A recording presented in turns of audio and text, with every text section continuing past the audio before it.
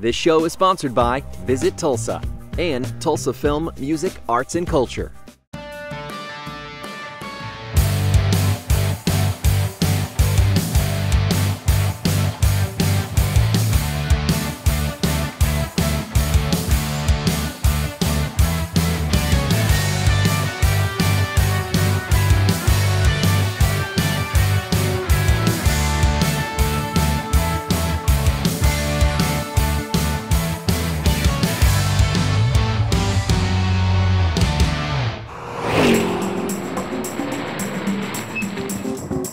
Ever been on a road trip so good that you just have to go back? Well, here on Road Trippin', we have been on plenty of those. But we do think there's a really special connection between Austin and the booming city of Tulsa, Oklahoma.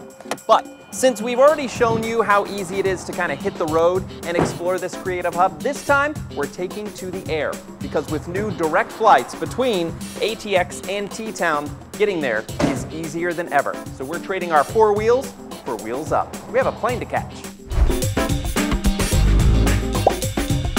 These daily nonstop flights between ABIA and our soul sister city of Tulsa can have you in the 918 in under two hours. That's faster than you can watch an in-flight movie.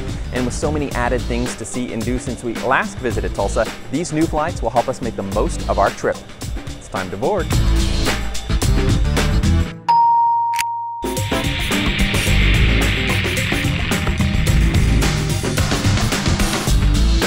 And just like that, actually in about an hour, we're here.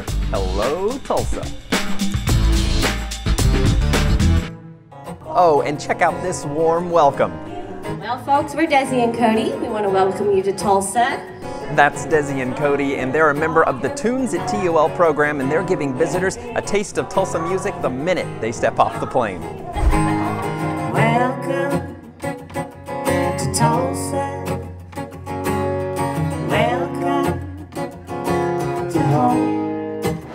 And that's just one of the many ways we'll show you later that Tulsa provides opportunities to keep local artists working.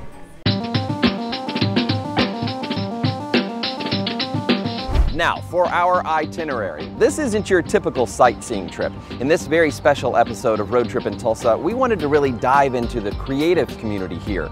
Few things drive tourism in a town better than a thriving arts and culture scene. So that's why we're here, and you are in for a treat. Coming up on Road Trippin', return to Tulsa. Music history comes to life in this sacred space. I love this place. We'll take you inside the church studio to see how this local landmark is leading a recording renaissance. Plus, long live live music. From popular venues to supporting local artists, how this city is making sure musicians can continue to play Tulsa music. Plus, after you get your kicks on Route 66, kick back and stay the night. We're taking you inside some of the coolest, most unique places to stay in Tulsa. And we hope you're hungry. Oh my gosh, it's good. I need some privacy. Thank you. We're taking a trip to the Mother Road Market, a Route 66 food hall that is more than meets the eye. How this Kickstart Kitchen helps local culinary dreams come true. And you won't find a collection like this anywhere in the world. We're taking you inside the Bob Dylan Center, where they've created an immersive experience that celebrates this legendary musician. Stick around, Road Trippin' Return to Tulsa starts after this quick break.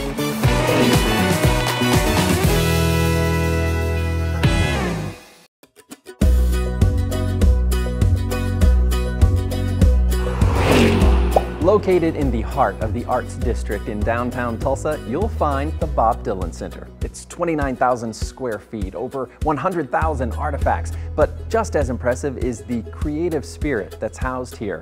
Bob Dylan is a man that's well known for his music, but here, visitors will learn so much more. Well, I'm here with Steve Jenkins, who has the fortune of being the director of the Bob Dylan Center, which I imagine is quite a job in and of itself. Thanks for having us out here. It's, it's my pleasure, and, and yes, it's, it's a dream job and really a thrill to be here and be part of this project. Well, I know if friends saw our first road trip and episode in Tulsa, they saw that we highlighted the beautiful Woody Guthrie Center, which is actually right next door. And at that time, this was kind of in planning and being constructed. And now here it is in all its real, beautiful glory. How did the Bob Dylan Center and all of its archives and this history arrive in Tulsa, Oklahoma? Sure thing, because it's not an obvious spot if you think about Bob Dylan being from Hibbing, Minnesota, mm-hmm. but Dylan himself said he really appreciates the hum of the heartland. Mm-hmm. And as he started meeting folks here when discussions began with the George Kaiser Family Foundation, when word got out that Bob Dylan, famously private Dylan, had in fact been saving a trove of materials for 60 plus years, conversation started to see if we might, in fact, uh, gather those archives here. And that's what eventually happened in 2016. Uh, this is a collection of over 100,000 artifacts. Wow, 100,000. Yes, Incredible. both, both physical and digital. Lots of music tracks, of course, not surprisingly, things no one's ever heard before. Photographs, home movies, films, handwritten lyrics, journals. We're able to look behind and really see the creative process at work. Mm. And of course, there's a corollary with Woody Guthrie because of Dylan has spoken uh, uh, uh, at great length about his love for Woody Guthrie. And so it does seem fitting uh, that these two centers are now under one umbrella and on the same block. You know, and I imagine uh, a man, an artist like Bob Dylan, there is no shortage of fans out there, but that includes those people who are in the industry and in contemporaries and people right now who are creating alongside Bob Dylan. And the Bob Dylan Center looked to them to kind of help curate some of the experiences here. Very much so. We're really fortunate to be working with luminaries in their fields, be it music, such as Elvis Costello, uh, who has curated the jukebox for us here in the gallery. We have Joy Harjo, who we're just honored to be working with. Joy just wrapped up her third term as U.S. Poet Laureate, and Joy will be working with us uh, as our first artist in residence over the coming years to do a number of public programs with us, and we will continue to reach out to other artists. So I think we'll have a very rich conversation going on, artistically and otherwise. What was it that you were hoping to kind of let people know about Bob Dylan in, in a career, in a man that is, is so expansive? I think the constantly changing nature of his artistry, not only in music, but also in visual arts. You know, this is somewhat of a lesser known aspect, but he's a very a prodigious painter. He's also a metal worker. We have a beautiful gate 16 foot tall that Dylan created specifically for the Dylan Center in our entryway. The music might be front and center, but we did want to shed light on these other aspects of his creativity, showing Dylan's artistry in full flower. And I do hope that folks, whether they have a somewhat of a passing acquaintance with Dylan, the guy who wrote Blowin' in the Wind, say, or, or for the die-hard Dylanologists, as we refer to them, we have surprises in store here. There's one exhibit I can't wait to learn a little bit more of, and that is really kind of a deep dive into some of his most popular songs, and that's right next door. Let's, uh, let's go over and learn more, learn more about it. Absolutely. Excellent.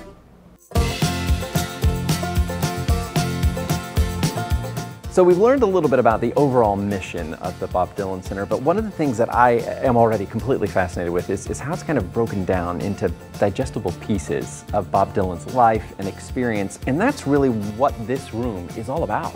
Very much so. This is the Columbia Records Gallery, which consists of a couple of main components. We've got the closest thing we have to a chronology uh-huh. along the perimeter walls here of this gallery by the essayist and Dylan scholar Sean Wilentz that breaks down Dylan's life into nine distinct eras.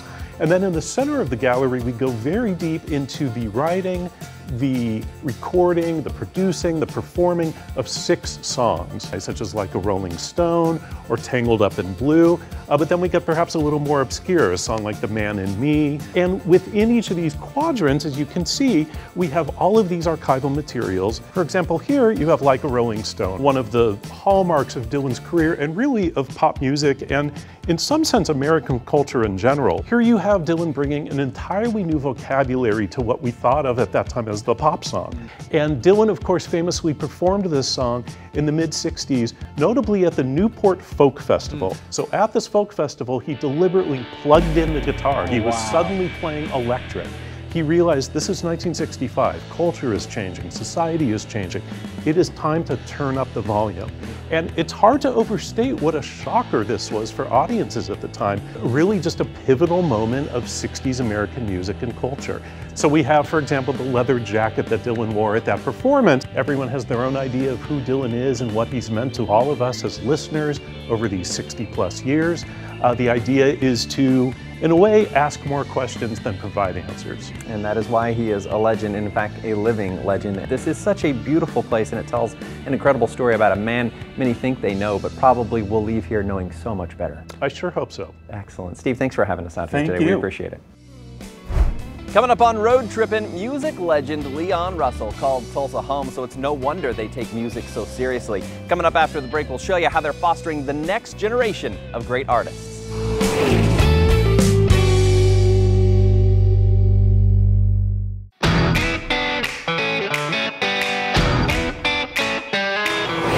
You can find great live music all across Tulsa County, including here at Maggie's Music Box, which is known far and wide for booking some of the greatest local musicians. Abby Kurin's waiting inside right now to tell us all about the Play Tulsa Music Venue Fund and how they've helped Maggie's and dozens of other venues keep the music alive. Well, Abby, good to see you again, number one. Yes. I love us kind of trading turf. We saw you in Tulsa, then you came to Austin for South by, and here I am once again in wonderful Tulsa. Thanks for having us. We are so beyond thrilled that you are back in the 918. Since we've been here, so much has happened, and we wanted to really kind of hone in and focus on that creative community, the creative buzz that's happening here in Tulsa, and that's in part because that's really important to you and to the city, right? Absolutely. So we released a Tulsa music strategy last year, finding out that, of course, the music industry has an impact of $335 million Unreal. on Tulsa's economy.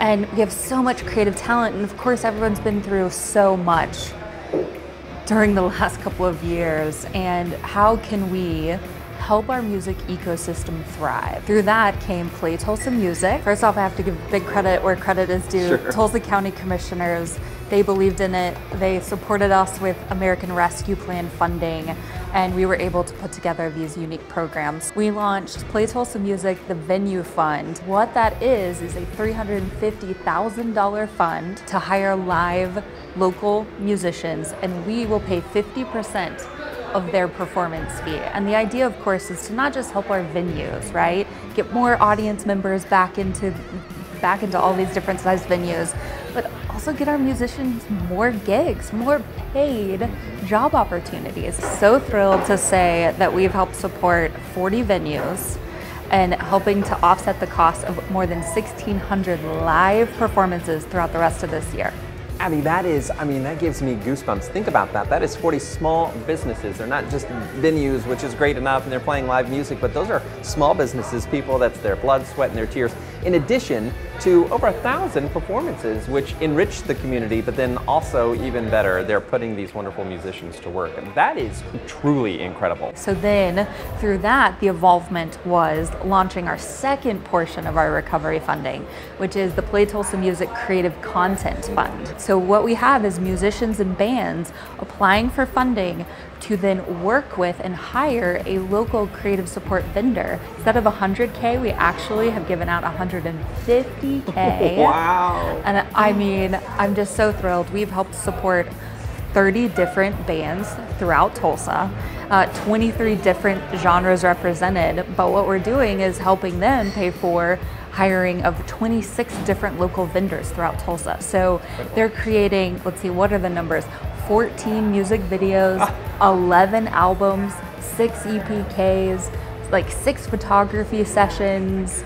You know, I mean, the list goes on and on, and that includes album artwork. And, Right. you know, so this is really to us just the continuation of helping our musicians and our music economy uh, come together, collaborate, and get back to work. I am always excited to talk to you, Abby. Thank you so much for having us back in Tulsa. It is always a great time. The best time to have you in Tulsa. Thank you so much for being you. here. And we welcome everyone from Austin to come to Tulsa and check out our music scene.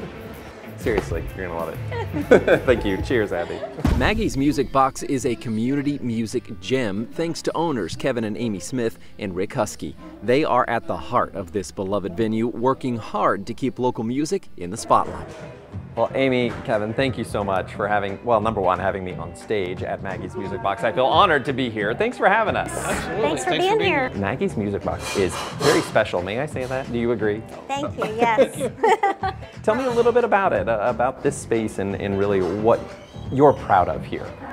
We're just so proud of the heritage of Oklahoma music that we represent. You know, Maggie's is named after the J.J. Cale song Magnolia. So she's a mermaid and she proclaims the greatness of all the music that's, you know, started in Oklahoma.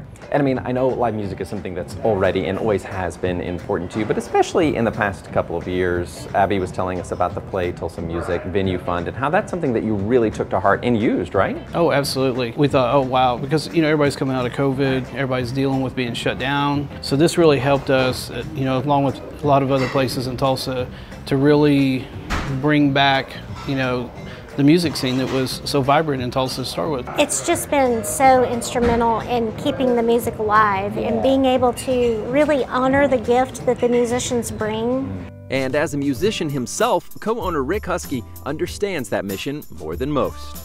I've got to know all the local guys, and they're so passionate about what they do, and they're so talented. I'm a big Leon Russell fan, of course. Leon wanted this community to be interchangeable, and that's the way it is. Everybody's cheering everybody on. And if they can come and record on a record or come and play with you one night that's important to you, they'll just jump on board. We have cultivated a following that trusts us to bring them a level of music that they can count on. And we've also cultivated a family of musicians that trust us to really care for them and not only promote what they do, but help them and support them so that they can continue to do what they're called to do. You know, we just kind of know that it's been bestowed upon us to take care of these guys. You know, this is their livelihood. This is what they do. Amy and Kevin, thank you so much for everything you're doing to help keep music alive in Tulsa and Tulsa County. We appreciate that, and thanks for having us. Oh, thank you. Thank you for being here. Excellent, very cool. When you visit, check out these locals approved venues for a night out on the town. Cain's Ballroom is one of Tulsa's more famous venues. It's known as the home of Bob Wills.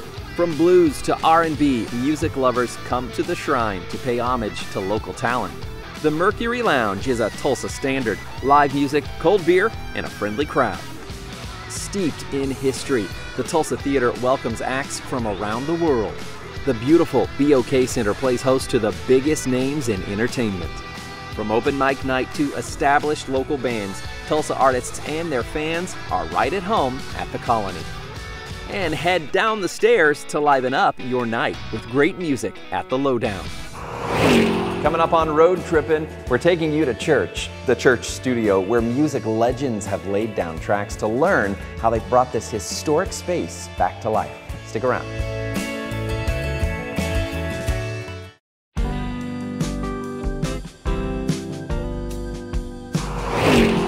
For Tulsans, this building is a local landmark. It's the church studio, made famous by Leon Russell, made new by native Tulsan Teresa Knox. She has lovingly and painstakingly restored this special space to record music history for generations to come.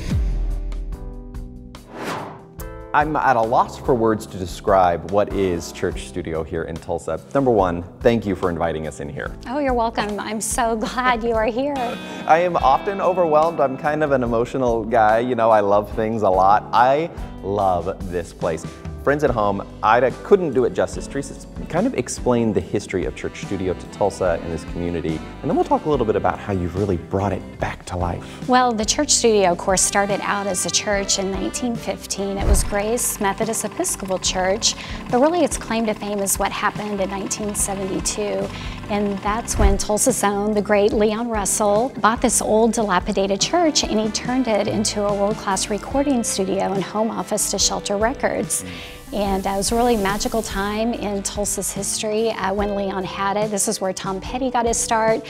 But so many people came to Tulsa, and Leon was really at the epicenter of that. He was kind of the musician's musician. A few of the names, name drop a little for us. Who recorded here with Leon Russell during that time? So I've had an opportunity to interview nearly 300 people that uh, were here during this time period, either as an employee or a musician. So things that I learned, even being from here, I did not know before, like Stevie Wonder, Tom Petty, um, Kansas, Bob Marley, Peter Tosh, The Wailers, Phoebe Snow, of course, J.J. Cale. Willie Nelson was here for a long time recording, uh, Jimmy Buffett. Really, the list goes on and on. Wow, that's amazing. If these walls could talk, well, they would probably sing if they could, I imagine. that is really incredible. Yeah, we'll put that on t-shirts yeah, later on. I love it. You have really put some serious love um, and effort and elbow grease into really restoring this place. Tell us about that process. There have been four owners between Leon and myself. Uh, when I bought it, it had been, um, you know, a little bit, a little bit rundown. I bought it sight unseen. Um, I'm first and foremost, I'm a huge Leon Russell fan. I've been collecting uh, Tulsa Sound music memorabilia since I was a kid. You know, primarily centered around Leon Russell. Quickly, it took a life of its own, and I knew it had to come back as a recording studio. So our first goal was to get it listed listed on the National Register of Historic Places. Wow. We are in a small cohort of historic recording studios in America. You know, there's Motown and Capitol and RCA, and of course now we have the Church Studio, Church studio right yeah. here in Tulsa. We are opened back up um, as a recording studio, but we're also a tourist attraction. Artists can be recording while the public come in. They can see our archive. They can um, often peek in uh, during a session as well to see what a real working recording studio looks like. When you see this incredible archive room, what are some of the things we'll find in there? Well, we have clothes that belong to Leon, several of his canes. Uh, he used canes later in his life. We have an original self-portrait that Leon uh, drew of himself. We have tapes and music, handwritten song lyrics. Wow, that is so cool. You know, and you've done such a beautiful job visually representing the, the specialness of this place. But I feel like it is one of those places you could even walk through the door with your eyes closed and feel that you are somewhere special. That seems to speak to the, the history in this spot. Is that what you hoped to accomplish? I kind of took a hybrid approach. When the church was built after the turn of the century, it was the people's church. It was built by the people, for the people, and everyone was welcome. Well, when Leon had the studio, you kind of had to know someone to get in the doors. and so we have some exclusive elements of the church studio, but then of course we're open to the general public, whether you're a tourist or a music fan, or we get a lot of church history historians that just want to know the history of the church. When visitors do come, because after they see this and after I go home and after I rave about Church Studio to every single human being I know, they will come. What is it that you hope that they will take away? Um, there's something really for everyone that makes you think about how can I be better today than I was yesterday and what does the future hold for me? Wow. Teresa, you've taken us to church today in more ways than one. It's a revival. That's right. Hallelujah. Thank you for having us here today. This yeah, you're welcome. I've loved it. Thank you. Hi there. My name is Travis Kidd from right here in Tulsa, Oklahoma. Uh, we're going to be recording right here at the church studio in the next few weeks, something we've been really excited about for quite some time. Uh, now's our opportunity to come in here and enjoy this uh, historic studio. You know, we've all driven past this place for so many years, uh, going to and from gigs. It's always been such a landmark that um, we've never had an opportunity to actually come in and grab it and and to do something here. So uh, it's, it's history, it's Tulsa history, and, and now I get to be a part of it. I had been trying to record here and trying to put some funding together uh, since Teresa had reopened the studio uh, a few months ago. I had applied for a grant through Play Tulsa Music, uh, which is a uh, local uh, organization here promoting Tulsa music and arts. I sent them a request and uh, helped fund uh, three days of recording here at the church studio. This Neve console that they're using in here um, has a lot of history. The drums here belonging to Tulsa local uh, legend Jamie Oldaker. There's a piano from uh, Dan Fogelberg. Uh, it's just amazing. There's all kinds of toys around here that we're excited about. And so the history from it from back then all the way to now is just amazing and we're really glad to be a part of it. Coming up on Road Trippin', dessert first? Why not? In Tulsa, there are tons of dining destinations to explore. Plus, wait until you see our Route 66 Airbnb. That's coming up.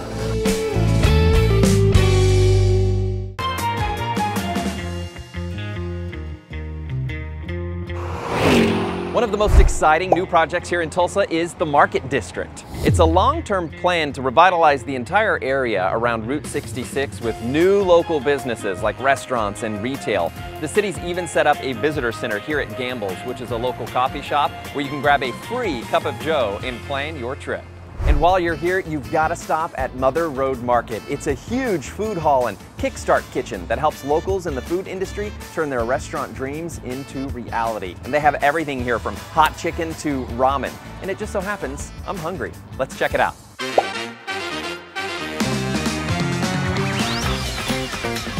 On the surface, Mother Road Market is a really fun food hall with more than 20 delicious dining options, as if that's not good enough. But this culinary community space is more than meets the eye. It is the only non-profit food hall in the state of Oklahoma. The restaurants are concepts, and Mother Road Market is the ultimate incubator. Here, local entrepreneurs are given a chance to test and scale their small businesses in a creative, supportive environment. Kitchen 66, housed inside the Mother Road Market, is Tulsa's Kickstart Kitchen, offering commercial kitchen space to local food entrepreneurs, plus business training programs, sales support, and pop up opportunities to test their food concepts. So, who's hungry? Hello. Hi, how are you? I'm hungry, so I'm in the right place, Yes, right? you are. In the Excellent. perfect place, yes. I think I am going to have the Cali Girl fries. Awesome. Yes, that's our best seller. Excellent choice then. Thank you so much. Yes. All right, Trevor. And Perfect. We'll call your name out on the street. Perfect. Thank you.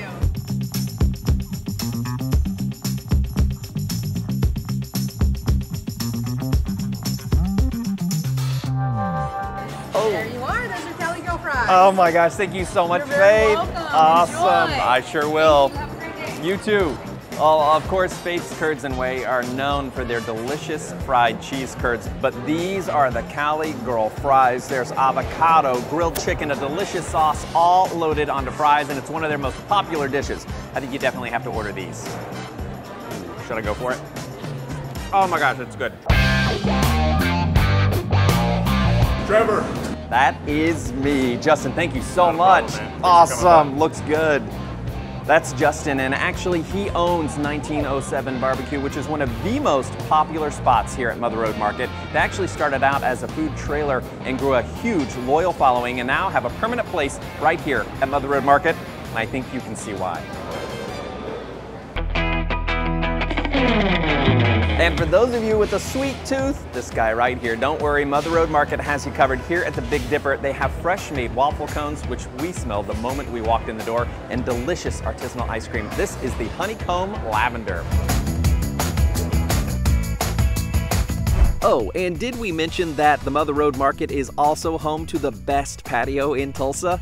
You can enjoy a meal, murals, and live music in this huge space. And you can even hit the Little Links for nine holes of Route 66 themed mini golf. So if you're looking for a true one stop to dine and shop, the Mother Road is calling. And if you're still in the mood to explore Tulsa food, your options are bountiful. In fact, Tulsa is home to several James Beard nominated spots. For fine dining in Tulsa's chic Utica Square, Polo Grill has been a tradition for nearly 40 years. Cocktail enthusiasts head to Valkyrie, located in the colorful, vibrant arts district. They are proud of playfully serving serious drinks. For a taste of the Caribbean in Tulsa, Cicero's is your spot. For progressive American cuisine, check out Oren, a fruit and veggie forward spot in beautiful Brookside. Restaurant Basque offers atmosphere and a menu of small plates with big flavor, all inspired by locally sourced ingredients. If you're looking for a great breakfast or lunch, Evelyn's Soul Food Restaurant is serving up a taste of home with Southern style comfort food. And for authentic Indonesian dishes and scratch made desserts, Tulsans know that Rendang and Company Indonesian Bistro is the place to go. Buck's Cosmic Curios on Route 66 is an iconic Tulsa stop. It's hard to miss Buck himself. They've got a great gift shop with Route 66 souvenirs, homemade ice cream, and now your next place to stay. Wait until you see Buck's Cosmic Crash Pad, a delightfully quirky Airbnb right next door and right on Route 66. Buck Atom's owner Mary Beth Babcock has already created an out of this world experience on Route 66 with her unique shop. This small, colorful space is full of cute and quirky gifts, handmade goods from local makers, and the perfect Route 66 souvenirs. Now, she's adding this blast from the past pad for your vacation stay. Buck Atom's Cosmic Crash Pad is three bedrooms, one and a half baths of pure nostalgia. The moment you walk in the door, you're in a space cowboy dream. Take in roadside attraction or neon sign views from each of these beautiful, thoughtfully decorated bedrooms. You can whip up a Leave It to Beaver breakfast in the kitchen or relax in the lively living room for a bit of classic TV. Mary Beth calls Buck Atom's Crash Pad a living gallery, and it's easy to see why. Every corner of this quirky Airbnb is loaded with retro fun, and that includes all of this great art on the walls. And guess what? It's all for sale. So if you like it, you can buy it and take home a piece of your Route 66 experience. And this Airbnb is perfectly located, close to several local attractions, museums, dining, and shopping. So if you're looking for a special stay during your Tulsa trip, blast off to Buck Atom's Cosmic Crash Pad.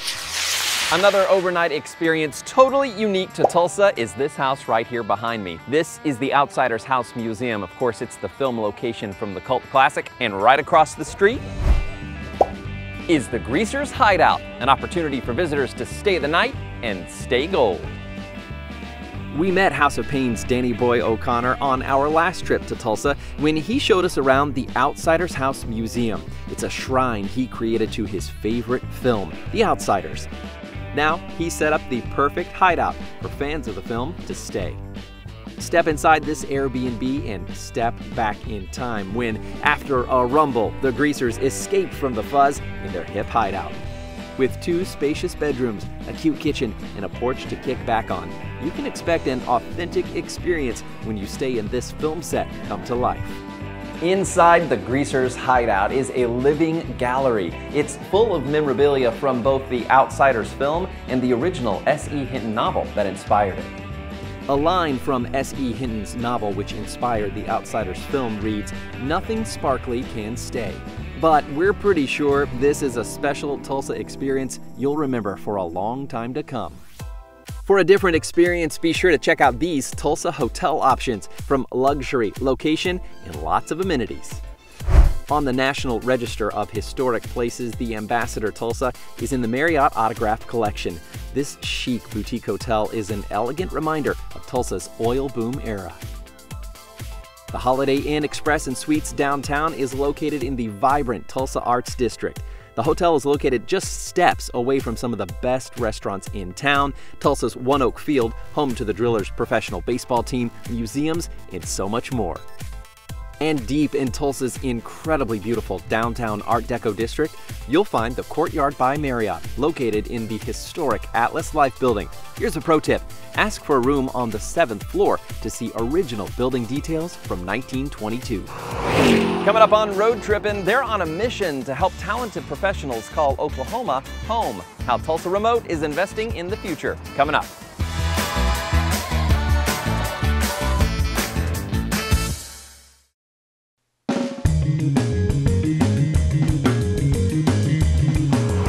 Tulsa is working hard to create tomorrow. They're investing in today's talent to help set the city up for future success. And they're doing that in part through a really cool program called Tulsa Remote.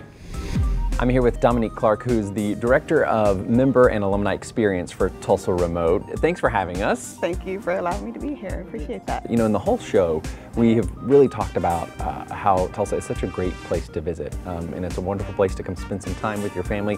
But we're talking about how Tulsa can really be a great place to put down roots, and Tulsa Remote's helping people do that. Can you explain to us a little bit about how? Tulsa Remote is a very creative solution to um, the brain drain that was happening in Tulsa in 2018.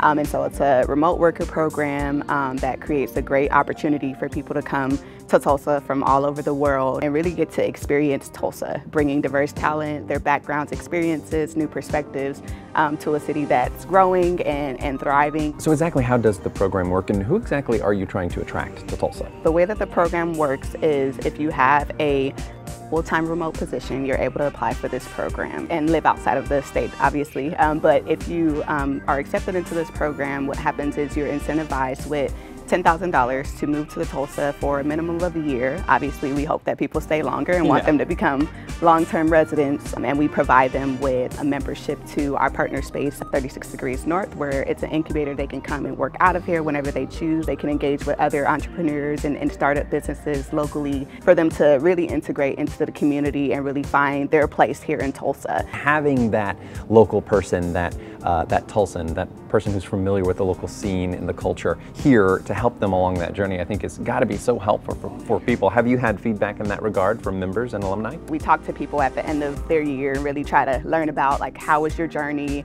um, and learn about their overall experience. And a lot of people will tell us that you know if it wasn't for a program like Tulsa Remote, they may not have been willing to take that risk. And what really helped them was that they we have this built-in community that they were able to move to Tulsa with other people who were also making that leap. So, how many people and professionals have you attracted using the Tulsa Remote program? At this point, um, we're a little bit over 1,600 people who have moved to Tulsa, all different walks of life, different ages, different um, experiences, and it's been great to kind of see them um, come and thrive here in Tulsa. It sounds like I'm not the only Austinite that's a fan. Austin is actually one of the biggest places that we've been able to recruit people from. Um, a lot of we've have over 64 people who have relocated from Austin, um, and Austin is actually one of the top cities. Um, right behind them is Los Angeles. Tulsa makes a pretty hard sell. It's a great town, and I imagine that people really are enticed to stay. Do people often stay beyond that initial year from Tulsa Remote? Yeah, a majority of people will stay in Tulsa. A lot of people we talk to after 12 months, they're like, I'm just getting started, you know, and so they want to stay here for long term. They're still trying to figure out what other opportunities are here that I can um, continue to grow in. You know, if they've started businesses, they want to see those things come to fruition and continue to grow in Tulsa. And so a lot of people have chosen to stay in Tulsa if they've bought a home, they've invested in the community.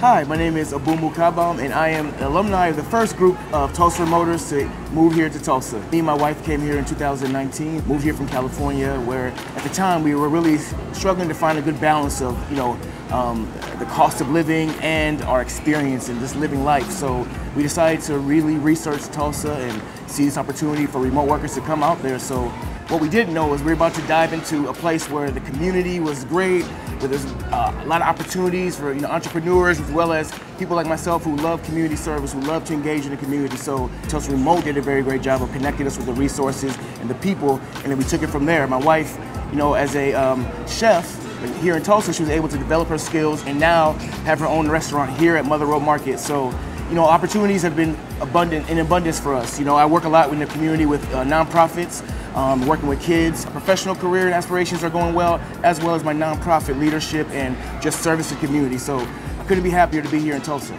Wow, I mean, it sounds to me like Tulsa Remote worked. Looking long term, how do you feel like Tulsa Remote is really making an impact now in the future of Tulsa? You know, a lot of our remote workers, they come in with their full-time remote jobs, but a lot of them also have passions and desires and may have businesses that they also are growing on the side. And so, um, and a lot of those may be in their creative spaces. So a lot of our members have not only just come with their jobs, but have also thought about what does it look like to be in a, a creative space that is growing and thriving, and they feel very comfortable and excited doing that here in Tulsa. When people come here, they feel that energy, they feel that excitement, and they want to be a part of it. This is so very cool. Dominique, thank you for telling us a little bit more about it.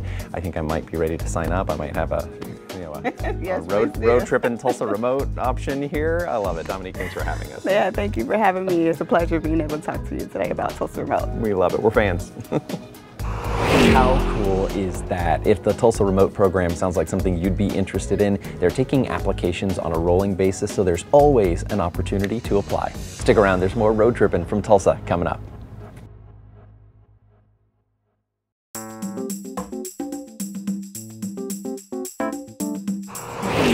Well, Tulsa, you've done it again. You really know how to make a visitor feel right at home. We've been so inspired learning about the ways the city of Tulsa celebrates and supports the entire creative community here and how that benefits everyone. You can learn more about us and the show at roadtrippintv.com and be sure to follow us on social media for lots of extras. Well, that's officially a wrap from Tulsa, but we're already excited about planning our next trip. Until then, I'm Trevor Scott. Keep road tripping.